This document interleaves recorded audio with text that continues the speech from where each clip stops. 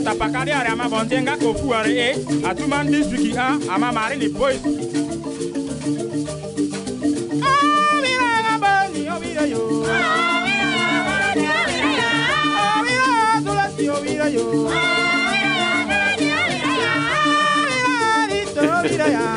When she came to me, she explained to me her problem and she was suffering from chronic low abdominal pain. So this woman was already thinking maybe the IUD has migrated to another part of her body.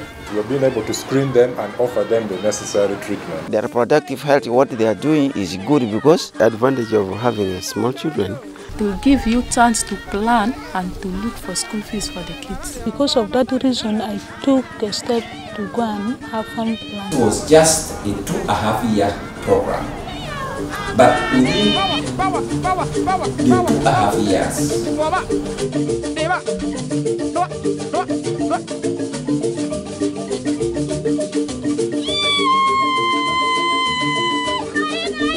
Oye, así es, güey.